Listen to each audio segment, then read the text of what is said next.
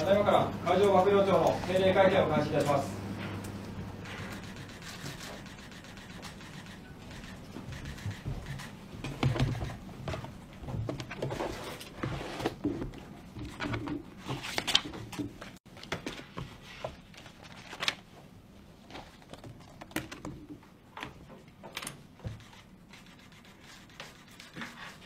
はじめまして、先週金曜日19日付で海上幕僚長を拝命した斉藤です。よろしくお願いします。えーこの場を通じまして、さまざまな発信をしていきたいと思います。どうかよろしくお願いします。昨今、我が国が戦後最も厳しく複雑な安全保障環境に直面している中、海上自衛隊の隊員は今この瞬間も我が国の防衛そして地域の平和と安定のためそれぞれの活動海域においてしっかりと持ち場を守り各種任務に取り組んでおりますその一方で4月にはヘリコプター墜落事故を正規させ、国民の皆様には多大なご心配をおかけしました。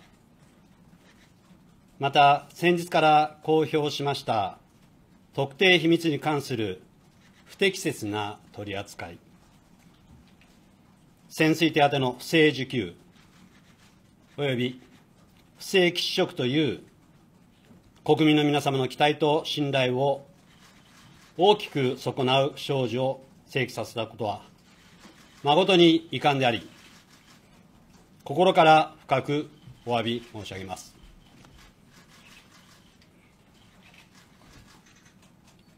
さらに、川崎重工との潜水艦修理契約に関し、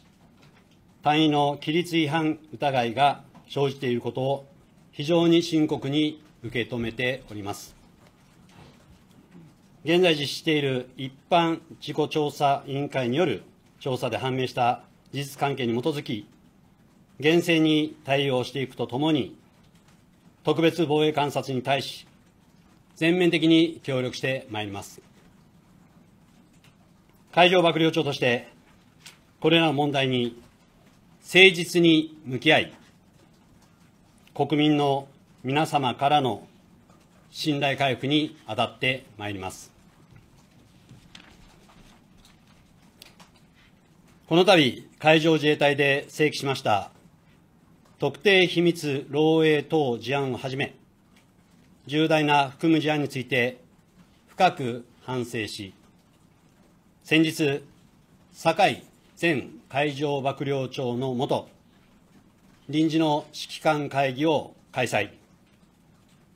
認識の共有を図るとともに、再発防止の取り組みを進めているところです。また、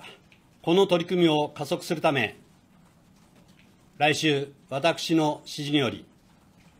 改めて海上自衛隊の主要指揮官を参集し、取り組み状況を確認し、徹底を図ります。加えて、以降も実施の監督と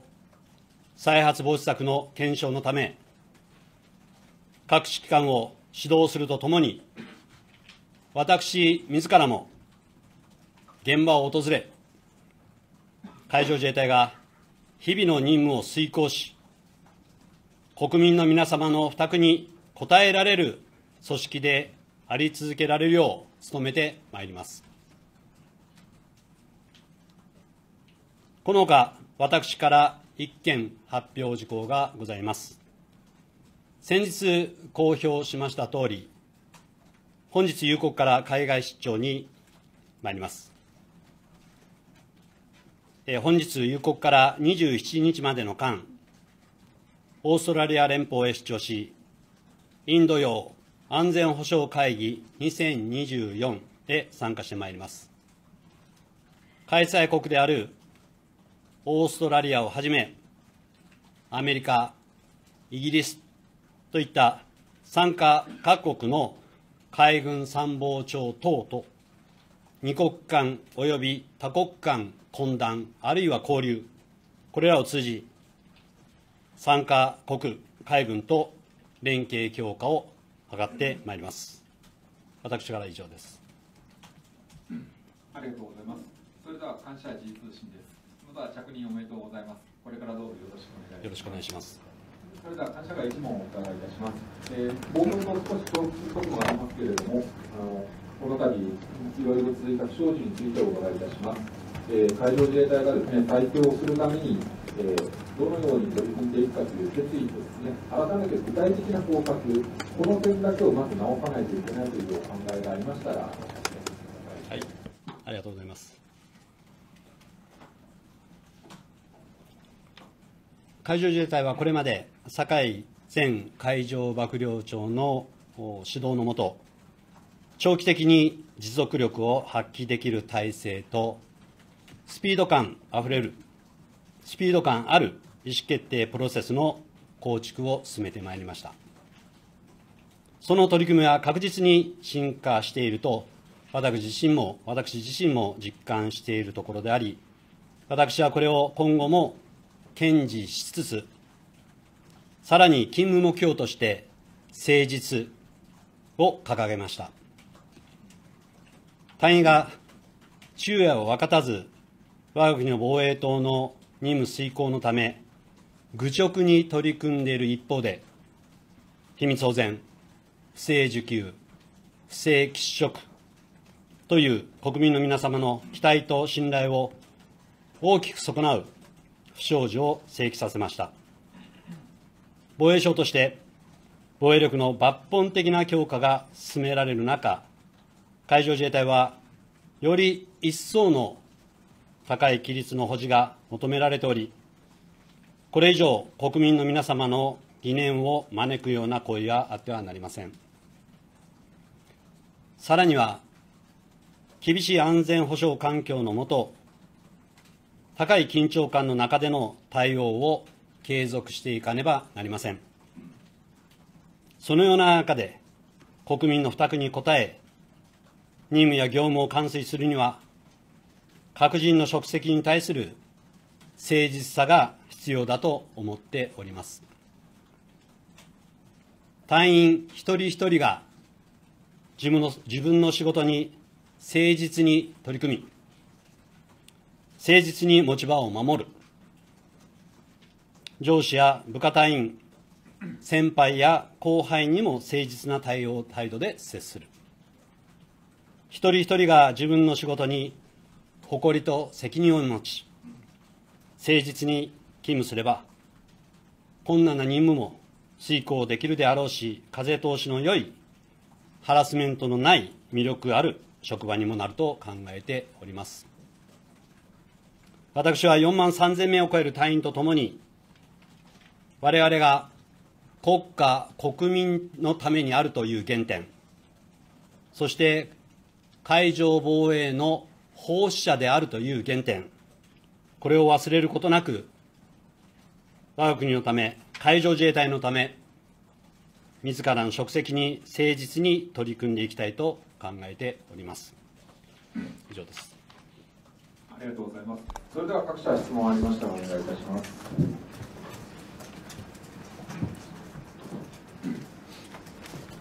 読売新聞の溝端です。よろしくお願いします。冒頭発言ございましたの特定秘密の漏洩事案に関連しましてお尋ねいたします。えっと、この問題ではご承知の通り、問題の背景にある課題として、まあ、人材不足、各官邸での人繰りの難しさというのが指摘されておりました。で安全保障環境が厳しさを増す中、任務も増えている一方で、こうしたまあ人が足りないという状況の中で、大学長としまして、今後どのようなあの方策で海上防衛力を強化していくとお考えかお聞かせください。はい。あのただいまありましたように、我が国の取り巻く安全保障環境というのは、極めて厳しいものがあります。前の配置、私、自衛艦隊司令官で勤務しておりました。ロシアについては、ウクライナでの対応をしつつも、太平洋側では相当な兵力を展開し、あるいは先般、大きな演習も実施しておりました。北海道周辺に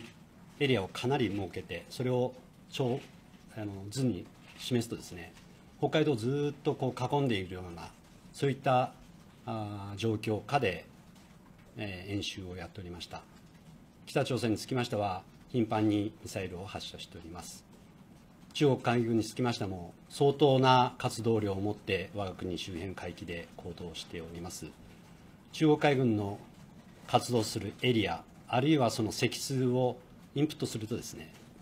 相当なあの広いエリアと、そして濃い色に、え表現できるんじゃないかなと思っております。そういう中で、我々は着任の際も申しましたけども、一国の猶予も許さない、え待ったなしの状況だと思っております。こういった中で、隊員が一人一人が現場で一生懸命に勤務している中で、今回のような不祥事が指摘したということは、大いに反省すべきだというふうに思っております。一方で先ほど申し上げたとおり、安全保障環境は厳しさを増す一方で、待ったなしの状況です。そのバランスを取りながら、しっかりとタイムを運営していきたいなと感じております。人手不足につきましては、可能な範囲で隊員を募集し、そして可能な範囲で隊員を削減できるところは削減し、任務の効率化を努め、あるいは無人機等で代用できるところは、そういうのもそういうものを積極的に取り入れ、人の有効活用、これを踏まえて、我々の活動量も維持していく必要があるというふうに感じております。以上です。ありがとうございます。はい、お願いします。産経新聞の一岡です。えー、着任おめでとうございます。よろしくお願いいたします。えーとまあ、引き続き不祥事の関係ではあるんですけども、あのまあ、特定費の問題もあるんですが、一方で、あの不正受給や不正喫食に関して、酒井前海幕長はですね、組織文化に大きな問題があるという、まあ、指摘をされました。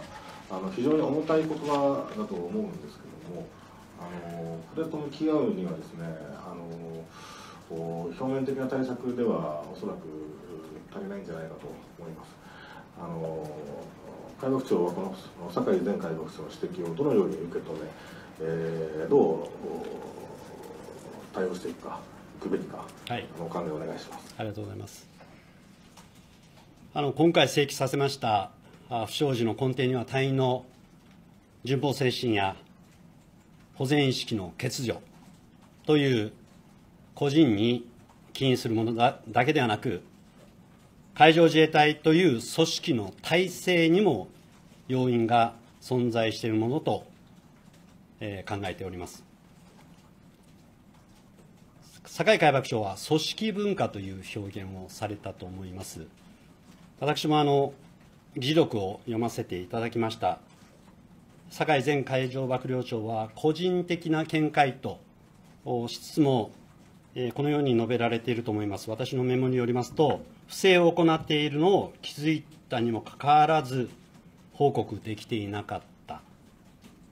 見逃していた。見て見ぬふりをしていた。慣れ合いがあったと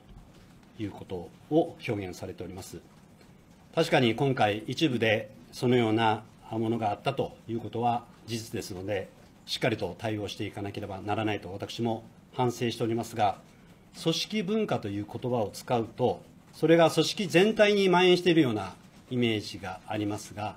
私は決してそういうものではないと思います。先ほど申しましたとおり、多くの隊員は任務に誠実に向き合って、愚直に任務をこなしております。一方で、一部にそのような不正を行っている事実があったのも否めません。こういったものに真摯に向き合って取り組むべきだというふうに思っております。そういったものを踏まえまして、酒井海上幕僚長の下で先般臨時疾患会議を実施したというのは先ほど述べたとおりです。ここで各疾患から今後進むべきところはこういったところだというアイデアが示されました。そういったことを踏まえて、来週、私のリーダーシップのもと、臨時の、失礼しました、関係指揮官を呼びまして、ここ一概で会議を実施する予定にしております。その中で、先般海上、えー、堺海上幕僚長の指揮のもと実施した臨時疾患会議での内容をさらに深掘りするとともに、我々は今後、どういうものに取り組んでいくべきか、それは長期的な視点、中期的な視点、そして短期的な視点、いろんな視点が必要かと思います。そういったものを皆で議論し、方向性を定めていきたいなというふうに思っております。また、あの問題解決には指揮官のみの議論ではなく、やはり、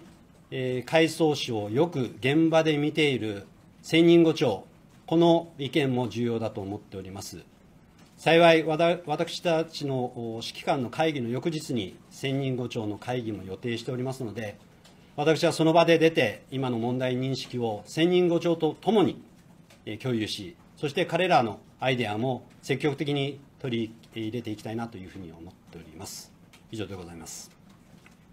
関連してすみません。あの今先般の、えー、臨時指揮官会議でですねあの多くの意見があったということですけども差し支えない範囲でどのような方向性がですね意見として上がったのか、はい、ご紹介いただけますでしょうか、はい、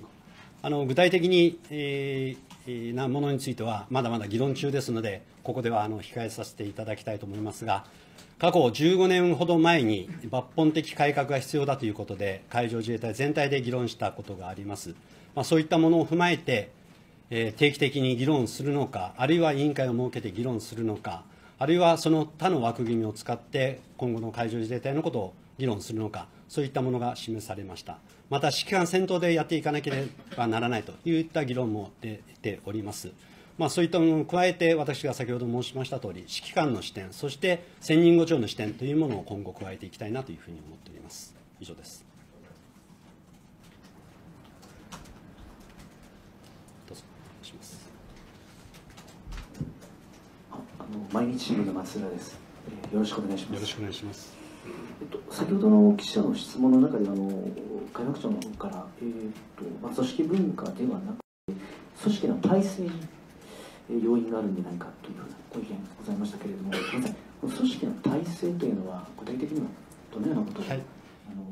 イメージして使われているでしょうか、はい、あの細部にわたる規則がなかったとか、えー、解釈があやふやなところについて、これはこのようなことを意味するんだということの説明を我々としてやってなかったとか、曖昧なところを曖昧なまま放置してしまってたとか、そういったことを意味しております。あと重ねてもう一点お尋ねします、えっと、来週その臨時の指揮官会議を開かれるというお話ございましたけれどもあの海上自衛隊がどのように変わっていくのか、まあ、国民の大きな関心事ではあると思っておるんですけれども、えっと、そういった会議をこう報道陣に公開するお考えというのはございますでしょう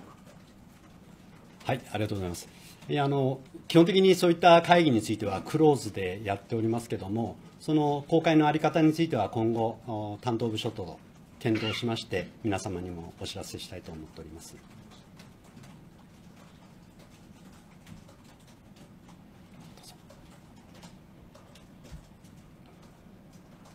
共同通信の松井と申します。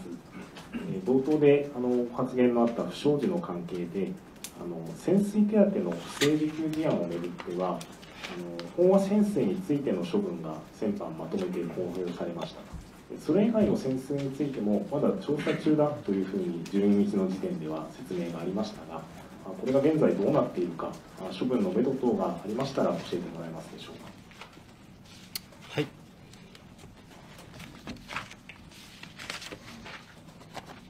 あの12日の時点での説明以降の進捗については、特段大きなものはないというふうに認識しております。私も19日に着任して以降の進捗はありませんので、ステータスとしては、まだ現在進行中だと、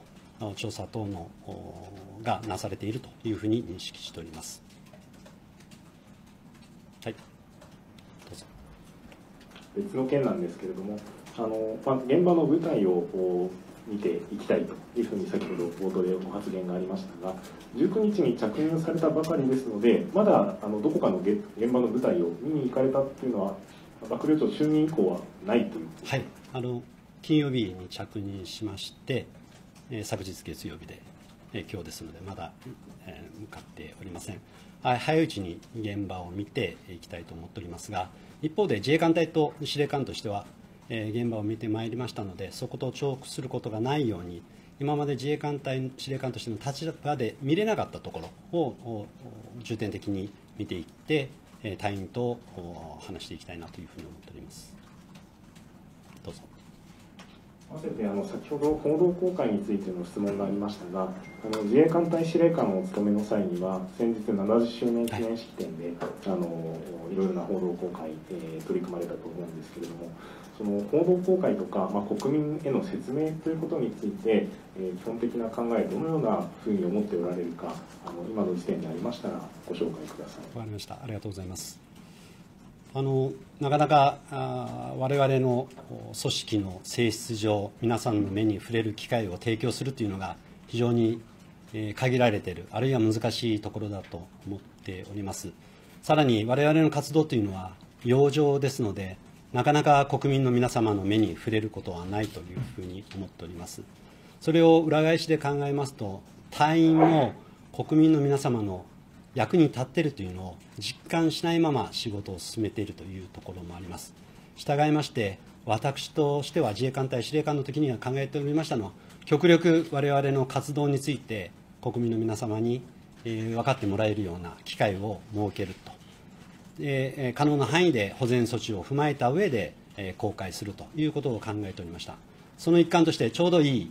い時期に70周年がありましたので、え先般の7月1日に、え皆様に公開したところであります、え保全措置をしっかりと取った上で、え皆様にぜひ見ていただきたいものはしっかりと見ていただくような取り組みをしていきたいなというふうに思っております以上です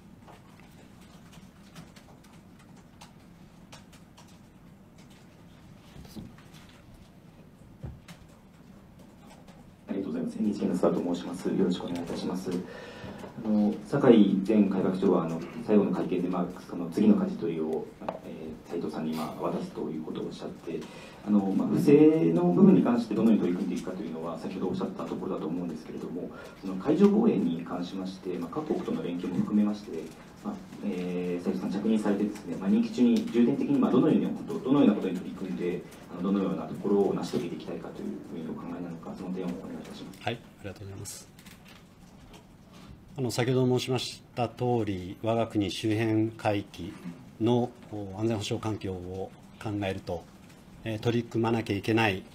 課題というのはたくさんあると思います。当然、あの米国との日米同盟を踏まえた海軍間の強力な関係、これはさらに構築していきたいと思っております。ちょうど明日からの出張でも、米海軍の CNO ともお会いしますし、えー、そこで今後どうやっていこうかというのを率直にお互いに話し合いたいなと思っております。また最近、日米豪の枠組みでの取り組みも非常に増えてきております。オーストラリアのハモンド中将とは先般、先週ですかね、えー、来日された際に、堺海上幕僚長の招待により、えー、来日した際に私もお会いしました。横須賀でいろんな議論をしたところであります。彼とは防衛部長時代からの知り合いでもありますので、旧知の中でもあります。今後、しっかりとオーストラリアとも補助を取りながら取り組んでいきたい、総じて日米豪の取り組みが今後、積極的になってくるんじゃないかなというふうに思っております。合わせて最近、えフィリピンとの関係も深まってまいりました。可能な範囲でフィリピンともさまざまな訓練、あるいは教育等を通じて交流を図っていきたいなと思っております。そういった同盟国、同志国との関係の強化が、この地域の安全保障に大きく貢献するものと信じております。以上です。します朝日新聞の里見と言います。よろしくお願いします。よろしくお願いします。あの今のこの、えーと、国際的なその連携というか協力の文脈で、えーと、一点伺いたいんですけれどもあの先週その海上保安庁とですね、えーと、台湾の海巡署があの、まあ、今月の18日に、あの日本の近海で合同訓練をしたという報道があってですねこれはあの断交以来始めるということでちょっとこれ別機関の話にはなるんですけれども、まあ、その海上の連携という意味でですねあの海事からこれ事前に情報共有というのがあったのかということとですねこのまあ訓練のこの、えーとまあ、一応国交のない台湾と、えー、国の機関をこう、えー、連携することのこの捉え方受け止めを伺った上でですねえーとまあ、今後、開示として台湾側とどのようなこの連携の在り方について、えー、お考えになっているのかというのをお尋ねできたらと思います、はい、あの先ほど言われました報道については私も新聞等で拝見しました、その上であのお答ええー、したいと思うんですけれども。あの海上自衛隊としては、先ほど記者さんもおっしゃいましたとおり、お答えする立場にないというのが正規な立場だと思っております。そしてあの政府としては、台湾との関係は非政府間の関係というふうに整理されております、実務関係にとして維持していくとの基本的な立場であるというふうに承知しておりますので、え私ども海上自衛隊もそのスタンスの上で、え行動を取るべきだというふうに思っております。え現時点では台湾海軍との訓練等の予定は全く計画等にはありません。以上でございます。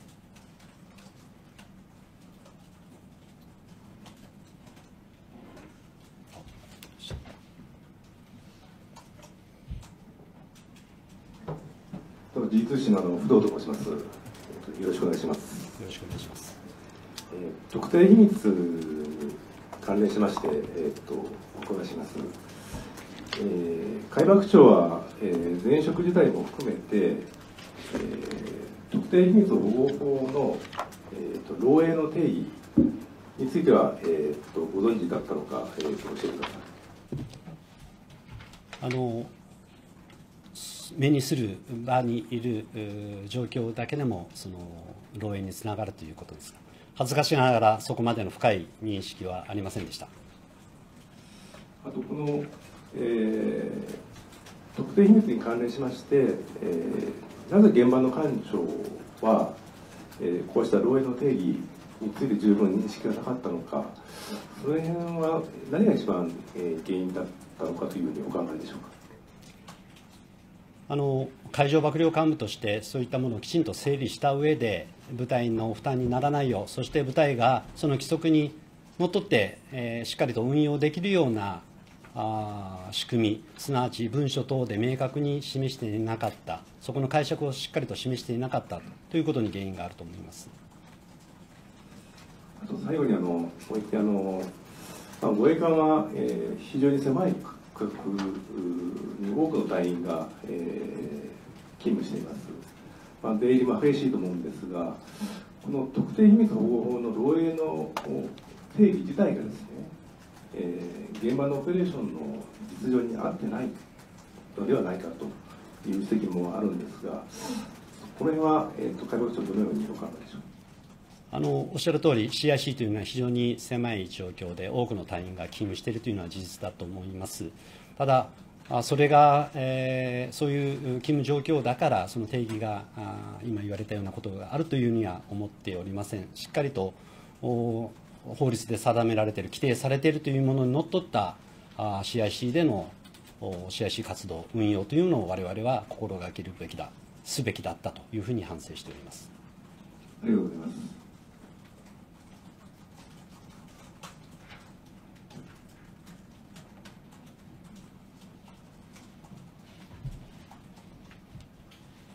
えー、もう一問、実通信鎌本です。